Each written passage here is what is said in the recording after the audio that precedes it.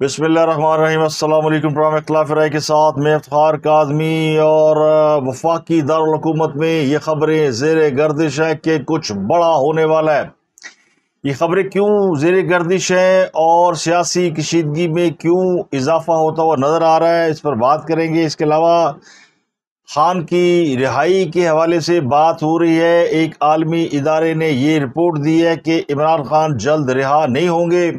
جبکہ موجودہ حکومت اٹھارہ ماہ تک برقرار رہے گی۔ اگر اس حکومت کو گھر بھیجا گیا تو کیا خاص اب دوبارہ حکومت میں آئیں گے؟ اس کا جواب بھی اس رپورٹ میں شامل ہے۔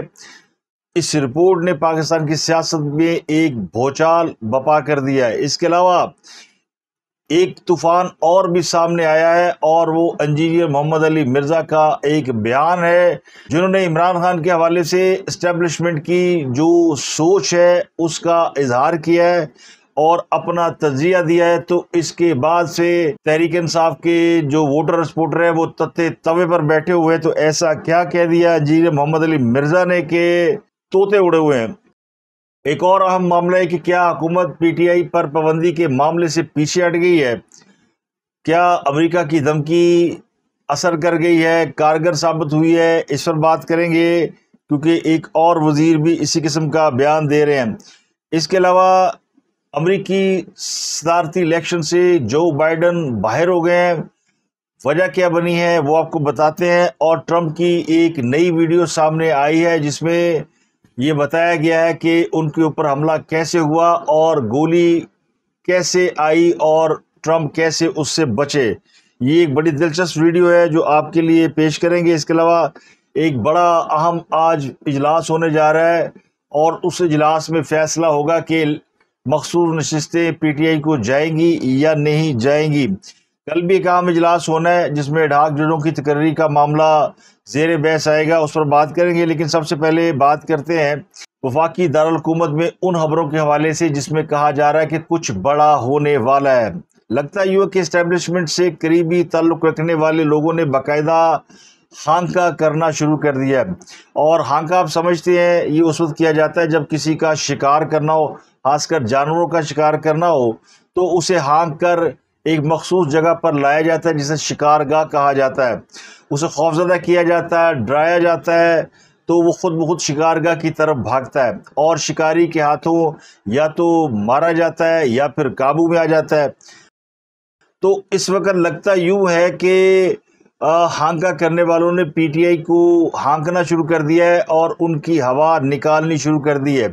اور کہا یہ جا رہا ہے کہ ان پر ڈنڈا چلنے والا ہے، بلکہ چلنا شروع ہو گیا ہے۔ اسٹیبلشمنٹ کا موڈ بہت خراب ہے اور یہ بتایا جا رہا ہے کہ ہن تو شامت آئے گی اور تھپڑو تھپڑی کم ہوئے گا۔ اور ہاتھیوں کی اس لڑائی میں کالے پونڈ وہ بھی روندے جائیں گے۔ تو اگر عمران خان کو جیل میں چپیڑے پڑ سکتی ہیں، تو پھر کچھ بھی ہو سکتا ہے۔ جو لوگ پچھلے دو ہفتوں سے یہ پروپوگنڈا کر رہے تھے کہ شہباز حکومت کو گھر بھیجا جا رہا ہے وہ اب اپنا آپ بچاتے پھر رہے ہیں۔ اس پورے منظر نامے کو دیکھا جائے تو ایک بڑا دلچسپ سنیریو جو بہت دنوں سے سمجھ میں نہیں آ رہا تھا کہ یہ کیوں ہوا ہے، کیسے ہوا ہے، کیسے تحریک لبیک کے لوگ اسلام آباد گئے اور انہوں نے دھرنا دیا، کس نے ان کو گرین سگنل دیا، کس کی آشیرواد ہے، کیوں وہ اسلام آباد میں بیٹھ گئے ہیں اور کس نے ان کو الاؤ کیا ہے اور کیوں ابھی تک ان کو اٹھانے کی کوشش نہیں کی جا رہی۔ کئی دنوں سے اسلام آباد کے مکین خاصے پریشان ہیں۔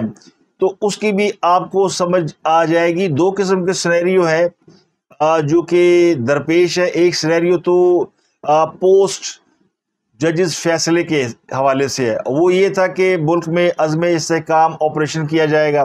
سیاسی جماعتوں کو اعتماد میں لیا جائے گا تاکہ پاکستان میں جو ممالک انٹرسٹڈ ہیں انویسٹمنٹ کے اندر، وہ عدم تحفظ کا شکار ہے۔ تو ان کا یہ احساس دور کیا جائے گا ان کو یہ احساس دلایا جائے گا کہ ان کے تحفظ کے لیے بہت سے اقدامات کر رہے ہیں اور پاکستان ملٹری آپریشن تک کر رہا ہے اور اس کو تمام سیاسی جماعتوں کی بیکنگ ہے۔ یہ تمام سیاسی جماعتیں ملک میں استحکام چاہتی ہیں، سرمایہ کاری چاہتی ہیں۔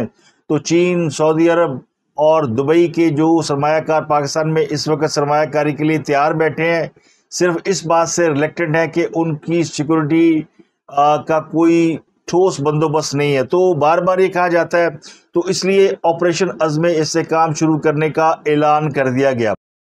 لیکن اس دوران ایک اور نائن الیون ہو گیا۔ اسے نائن الیون ہی کہا جا سکتا ہے کہ جس میں ایک فیصلہ آ گیا ججوں کی طرف سے۔ اور عدلیہ اسٹیبلشمنٹ کے خلاف کھڑی ہو گئی۔ اور صرف عدلیہ نہیں بلکہ چند جج اسٹیبلشمنٹ کے ساتھ متقع لگا کر بیٹھے ہیں۔ اور وہ محبت عمران میں اس حد تک آگے نکل گئے ہیں کہ ان کو نہ اس ملک کی معیشت کا خیال ہے، نہ سیاست کا خیال ہے، نہ آئین کا خیال ہے۔ فیصلہ بھی انہوں نے آئین اور قانون سے ماورہ دیا۔ اگر تو فیصلہ دیا ہوتا آئین اور قانون کے مطابق، تو شاید اتنی پرابلم نہ ہوتی۔ لیکن یا تو بتایا گیا کہ جس کی لاٹھی اس کی بھینس اور تم جو کر سکتے ہو وہ کر لو، ہم یہ فیصلہ دیں گے۔ تو اس بات سے پھر جو دوسرے طرف لوگ ہیں، ریاستی ادارے ہیں، وہ خاصے اس بات سے ناخوش ہوئے ہیں اور انہوں نے یہ فیصلہ کیا کہ اب ایسے عناصر کی سرکوبی ضروری ہے جو پاکستان کی راہ میں رکاوٹ بنے ہوئے ہیں۔ تو ایک فیصلے سے پاکستان کی جو کایا پلٹ ہوئی ہے، اس کی وجہ سے اب لوگ یہ کہتے ہیں کہ کچھ بڑا ہونے والا ہے۔ اب ان حالات میں اگر آپریشن عزم استحکام ہوتا ہے یا آپریشن گدڑ پٹ شروع ہوتا ہے، کیونکہ دوسرے آپریشن کو ابھی نام نہیں دیا گیا۔ اس میں کہا جا رہا ہے کہ پھینڈی پڑے گی، گرفتاریاں ہوں گی کپڑوں تھپڑی ہوں گے، بہت سے کام ہوں گے اور شروع بھی ہو گیا ہے۔ ایک دو ایم این ایس کے بارے میں کہا بھی جا رہا ہے کہ ان کو اٹھا لیا گیا ہے۔ اور ایک ایم این اے شور مچا رہا ہے کہ راتی میرے گھر بڑے سن فائرنگ کی تھی لیکن میں بچ گیا کیونکہ میں سپر مین تھا تو اس طرح کی جو گفتگو ہے وہ شروع ہو گئی ہے۔ تو ان حالات میں اگر کوئی اسلام آباد کی طرف رخ کرے گا تو اسلام آباد میں خالی جگہ پر ہو چکی ہے۔ فیض آباد کے مقام پر جو ہے بڑی تعداد میں تحریک لبیک کے لوگ بیٹھے ہیں۔ تو مجھے یہ لگتا ہے، ہو سکتا ہے میں غلط ہوں، لیکن مجھے کہیں نہ کہیں ڈاٹ ملانے سے یہ شائبہ گزر رہا ہے کہ تحریک لبیک کے لوگ اسلام آباد میں بیٹھے ہوئے ہیں۔ دراصل ان کو فیڈرل کیپٹل کی حفاظت کے لیے بٹھایا گیا ہے۔ تاکہ کہیں اور سے کوئی دھرنا لانگ مارچ، اور کہیں اور سے دہشت گرد گاڑیوں میں سوار ہو کے ٹی ٹی لہراتے ہوئے اسلام آباد کا رخ نہ کر لیں۔ ماضی میں یہ ہو چکا ہے جنہوں نے اسلام آباد میں مارگلہ ہل کے درختوں تک کو آگ لگا دی تھی۔ تو ایسے لوگوں کا راستہ روکنے کے لیے ضروری یہ ہے کہ پہلے سے وہاں پہ لوگ بیٹھے ہوں۔ تو وفاقی دارالحکومت کی حفاظت کے لیے ٹی ایل پی مجھے لگتا ہے کہ بیٹھی ہوئی ہے تاکہ جن کو پھینٹی پڑنی ہے اور اس کے بعد لوگوں نے اسلام آباد کی طرف دوڑنا ہے، بھاگنا ہے، چڑھائی کرنی ہے۔ تو اس کی وجہ سے مجھے لگتا ہے کہ وہ جو دھرنا ہے، اس کی جسٹیفیکیشن بنتی ہے۔ May be I am wrong لیکن مجھے لگتا ہے کہ اگر آپ پورا پکچر دیکھیں، اور میں آپ کو ایک اور تصویر دکھاتا ہوں، ایک فچ رپورٹ آئی ہے۔ اب یہ جو انٹرنیشنل اکنامک انڈیکیٹر ہے، فچ اس نے ایک رپورٹ جاری کی ہے، ان کا سیاست سے کوئی لینا دینا نہیں ہے۔ یہ معاشی درجہ بندی کے ادارے کا نام ہے، جو کہ بتاتا ہے کہ اس وقت پاکستان یا دنیا میں جو دیگر ادارے ہیں ممالک ہیں، وہ کہاں کھڑے ہیں۔ انہوں نے پاکستان کے متعلق ایک رپورٹ میں بہت سی پریڈکشنز کی ہیں۔ پہلی پریڈکشن انہوں نے یہ کی ہے کہ موجودہ حکومت کم از کم اٹھارہ ماہ تک برقرار رہے گی۔ اگر حکومت تبدیل ہوئی تو الیکشن نہیں ہوں گے۔ یہ بڑی الارمنگ بات انہوں نے کی کہ اگر موجودہ حکومت کو جو شباز شریف کی وزارت عظمہ کے تحت چل رہی ہے، اگر یہ کسی نہ کسی وجہ سے چلی گئی، اگر یہ کسی وجہ سے رخصت ہو گئی، اس کو نکال دیا گیا یا حکومت نہ رہی کسی وجہ سے، تو پھر کوئی نئی حکومت جو آئے گی، وہ عمران خان کی حکومت نہیں آئے گی، وہ ان لوگوں کی نہیں آئے گی جو سب کہہ رہے ہیں، ساڈا حق ایتھے رگ۔ ہماری ایک سو اسی سیٹیں ہمیں واپس کرو۔ تو یہ فچ نے رپورٹ دی کہ اگر یہ گورنمنٹ فیل ہو گئی تو پھر ٹیکنوکریٹس آئیں گے، کوئی جمہوری حکومت نہیں آئے گی۔ تو یہ یعنی جمہوریت کا ڈبہ گول کرانے کے لیے یہ سارے سیاستدان مل کے کوششیں کر رہے ہیں۔ ایک اور انہوں نے پروڈکشن کی ہے کہ عمران خان مستقبل قریب میں زیر حراست ہی رہیں گے۔ یعنی یہ عالمی ادارے کو بھی پتہ ہے کہ عمران خان ریحانی ہوتے۔ اور وہ کیوں رہا نہیں ہوتے اس کی وجہ آگے انجینئر محمد علی مرزا نے بتائی ہے۔ وہ بھی میں آپ کو بتاؤں گی، لیکن پہلے وہ بھی میں آپ کو بتاؤں گا، لیکن اس سے پہلے ذرا فچ کی رپورٹ پوری ہم دیکھ لیں۔ فش بزنس مانیٹر انٹرنیشنل نے پاکستان کنٹری رسک کے نام سے رپورٹ جاری کی ہے۔ اور یہ بتایا کہ پاکستان کی جو اکنامک کنڈیشن ہے وہ بڑی نازک ہے۔ اور جو سیاسی صورتحال ہے، یہ معیشت کو ڈی ریل کر سکتی ہے۔ اگر پاکستان میں استحکام نہ ہوا تو پھر معیشت تو گئی تو حکومت بھی جا سکتی ہے۔ رپورٹ میں کہا گیا ہے کہ فروری کے الیکشن میں جیل میں قید عمران خان کے حمایت یافتہ امیدواروں کو کامیابی ملی، جو آزاد امیدوار تھے۔ جبکہ پاکستان کے شہروں میں مظاہرے، معاشی سرگرمیاں متاثر کر سکتے ہیں۔ تو یہ فچ کہہ رہا ہے کہ آنے والے دنوں میں یہ مظاہرے کر سکتے ہیں، یہ لانگ مارچ کر سکتے ہیں، یہ دھرنے دے سکتے ہیں۔ تو اس لیے میں نے کہا اسلام آباد میں ایک آلریڈی دھرنا ہمیں نظر آتا ہے۔ رپورٹ میں کہا گیا کہ پاکستان کی معیشت کے لیے جو بیرونی ادائیگیوں کا دباؤ بہت زیادہ ہے، مہنگائی بڑھ چکی ہے۔ وہ سال کے اختتام تک تھوڑی سی نیچے آ سکتی ہے اور اسٹیٹ بینک کی جو شرح سود ہے، وہ کم ہو کر چودہ فیصد تک آ جائے گی۔ اس وقت بیس اشاریہ پانچ فیصد ہے۔ ایک روز قبل جو عالمی ریٹنگ ایجنسی ہے موڈیز اس نے بھی پریڈکشن کی تھی اور کہا تھا کہ آئی ایم ایف کے ساتھ جو پاکستان نے ایگریمنٹس کیے ہیں اس سے فنڈنگ کے امکانات میں بہتر آئے گی۔ لیکن بیرونی پوزیشن اب بھی نازک ہے، جو اگلے تین سے پانچ سال ہے، وہ پاکستان کے لیے جو معاشی پالیسیاں ہیں ان کے حوالے سے کافی مشکل سال ہیں۔ کمزور گورننس اور سماجی تناؤ یہ حکومت کی اصلاحات کو آگے بڑھانے کی صلاحیت کو متاثر کر سکتے ہیں۔ تو اس لیے لوگ کہتے ہیں کہ پاکستان کے اندر معیشت کے استحکام کے لیے ضروری ہے کہ سیاسی استحکام آئے۔ لیکن وہ ہمیں آتا ہوا نظر نہیں آتا۔ اس کے جو مرکزی کردار ہے وہ عمران خان صاحب ہیں۔ آپ خاص صاحب کے حوالے سے جو کچھ بھی سوچا جا رہا ہے، وہ میں نے آپ کو بتایا کہ وہ پیغام مختلف لوگوں سے ہمارے سامنے آ رہا ہے۔ کبھی منی فاروق آ جاتے ہیں سامنے۔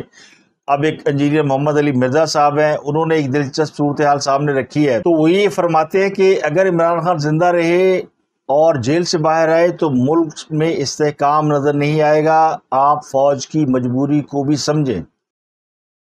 اگر خان صاحب زندہ رہے اور وہ جیل سے باہر آ گئے تو پھر اس ملک میں سٹیبلٹی والی کوئی چیز آپ کو نظر نہیں آئے گی۔ سیدھی سی بات ہے۔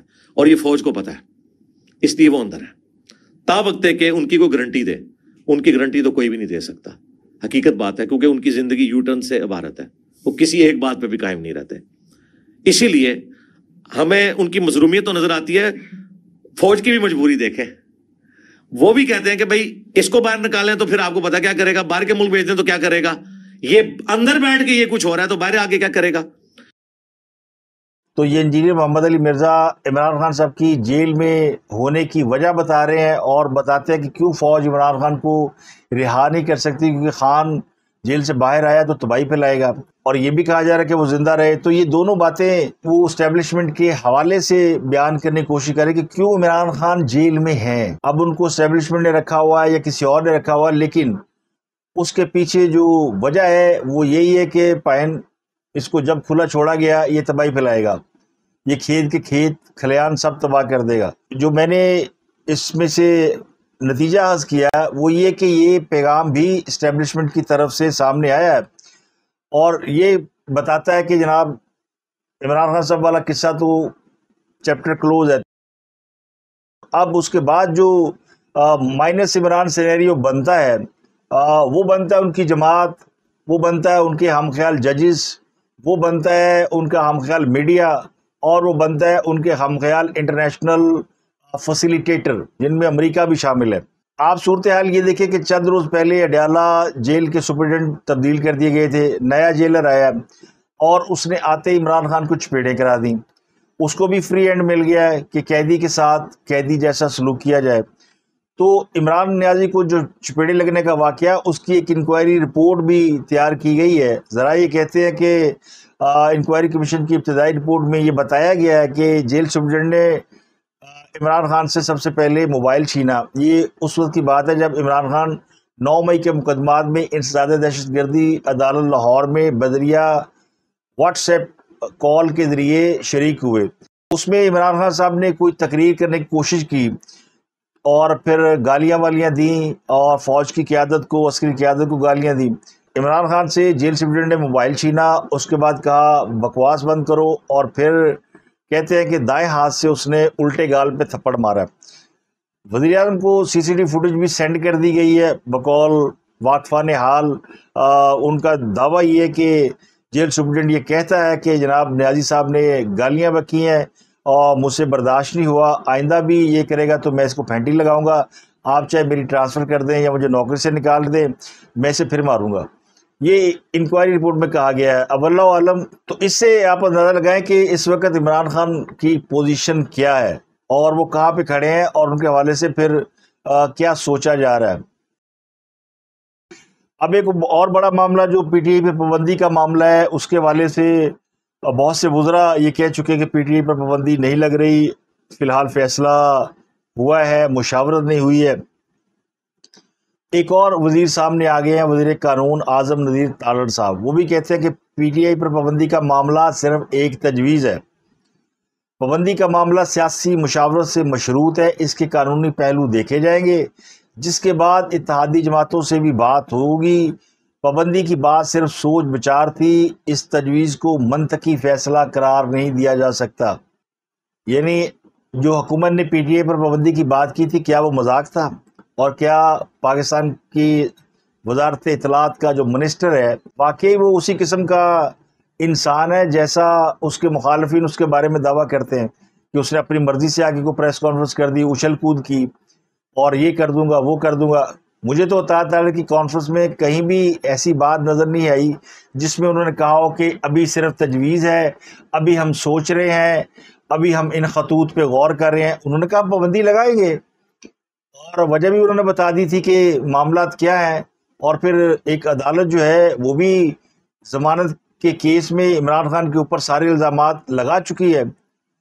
تو اب یہ اچانک پیچھے کیوں اٹھے کیا اس وجہ سے اٹھے ہیں کہ امریکہ نے تشویش کا اظہار کیا ہے؟ دنیا بھر سے ان کے اوپر بات ہو رہی ہے اور پاکستان کے اندر سے بات ہو رہی ہے۔ جو اطلاعات ہیں میرے پاس بھی ہے اور لوگوں کے پاس بھی ہیں۔ کہ جو اوپر کی سطح پر فیصلہ ہو چکا ہے کہ پابندی لگانی لگانی ہے، وجہ بھی بتا دی انہوں نے کہ کس ویڈیو پہ، کس بیان پہ، کس حرکت پہ یہ فیصلے ہوئے ہیں۔ تو وہ تو آلریڈی طے شدہ بات ہے، لیکن ابھی بھی جو منسٹر ہیں وہ گھبرا رہے ہیں۔ بعض لوگ کہہ رہے ہیں کہ میاں صاحب اس پابندی کے بڑے خلاف ہیں۔ وہ چاہتے ہیں کسی سیاسی جماعت پر پابندی نہ لگائی جائے۔ تو پھر کون چاہتا ہے؟ کہ شواز شریف چاہتے ہیں؟ شواز شریف نے پابندی لگانی ہوتی۔ تو وہ بہت پہلے لگا چکے ہوتے، ان میں اتنا وہ کہتے ہیں نا ساتھ آتی نہیں ہے۔ کہ کسی پہ پابندی لگائیں۔ وہ بڑے افام و تفہیم کے مفاہمت کے قائل ہیں۔ وہ ایکسٹریم پوزیشن نہیں لیتے۔